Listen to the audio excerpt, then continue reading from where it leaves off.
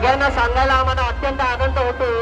की एकमेव तेजुबाईची मूर्ती अशी आहे की त्या मूर्तीचं विसर्जन या मूर्तीचं विसर्जन हे खांद्यावरच होतं.